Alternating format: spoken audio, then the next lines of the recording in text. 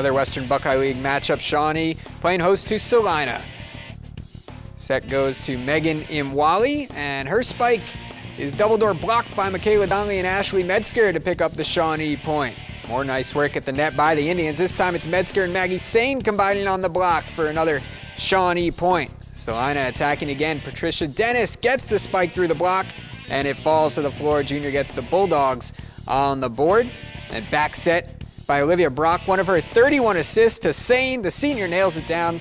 Indians strong early, but they would need five sets to get the win in this one. 28-30, 25-20, 25-27, 25-20, 15-9. Tight five-set victory for the Indians.